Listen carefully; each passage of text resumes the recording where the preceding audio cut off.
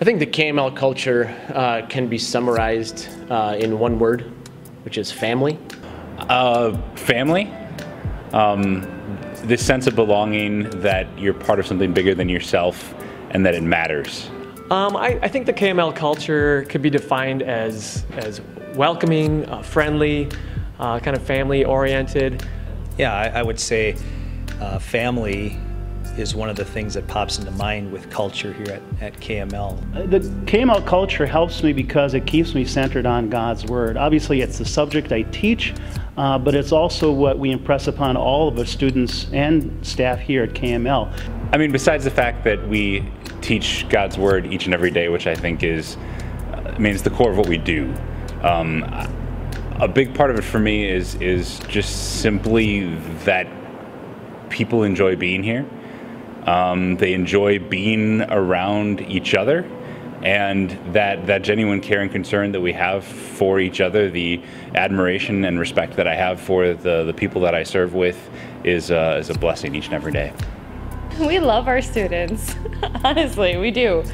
We love we love them being here. We love talking with them. We love teaching them. I mean, we're not always in love with them, but they're pretty awesome in general. Students liking teachers is kind of an unusual concept, um, especially if you just look at from a, an academic point of view.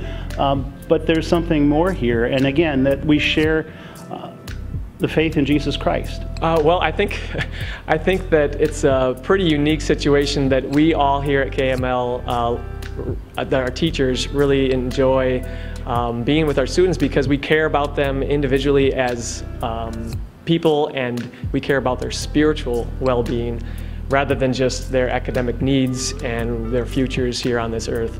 And that makes for a much deeper relationship with students uh, when you care about their spiritual needs.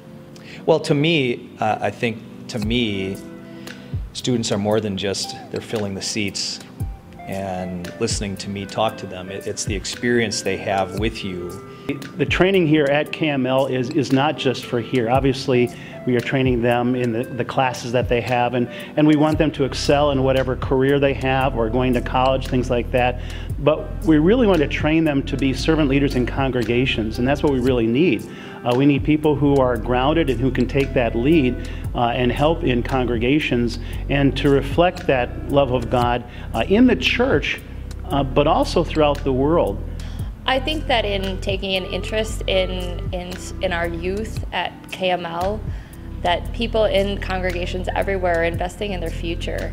I mean, this is the future of our, this is the future of our church, of our synod, and giving support to those young people so that they have a positive Christian education is going to help convince them, even if they aren't pastors and teachers someday, to be participants in their own congregations and to see if, if they're getting that support from people that they don't even know, they're it's showing Christ's love and then they're going to show it to other people later when they're older and in a, in a place where they can contribute with their time and money and talents.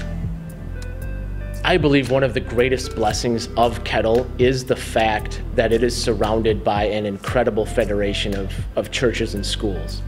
Um, and it, it's not just financial support either. I think it's so easy as a congregation or even as a church member um, to be so concerned that, oh, well, Kettle just wants our money, they just want our offerings. No, we would not exist without you. We would not exist without the congregational support. We would not exist without your students that you send from your grade school. Um, and so the blessings that we are experiencing here and that I've experienced in the last four or five years truly are because of the incredible support that we have from our Federation churches and schools. And when we are able as a high school to experience um, growth and expansion and all of these wonderful things that we have happening here, it starts with the Federation schools, the churches, and the individual families um, that make that conscious decision to put God's kingdom first, God's word first, um, and support the schools like Kettle that, that put God's word as the number one priority. Another wonderful thing about being a part of our federation is that we all get to work together and all uh, get to reap the benefits of what happens here. A lot of the students I see uh, are working on their musical talents, and not only do we get to use those skills here right now um, when we come and visit our churches, but when they graduate from here and go off to college or um, you know stay in the area, they can use those talents right in your church, uh, performing music and and worshiping their Savior right with you. We're here for you, and and we're we're, uh, we want you to be here. Hello, my name is Jamie Leering, and I have the privilege and honor to serve as the president of Kettle Moraine Lutheran High School. You had a chance in this video to meet some of our teachers, to understand our culture from their perspective. So what does make our culture special? It's because it's built on the foundation of God's love for us. And God's love compels us to make sure that we're living His way, how He defines in Scripture, so that we can have that special culture that He has designed. We pray that God would continue to bless our work together as we live in a sinful world full of strife and pain and struggle. We pray that we can be the light as we provide a Christ guided success path for all of our students here at KML. We thank you for your prayers and your support. We thank you for the critical work that you do as a member of our KML family. Thank you.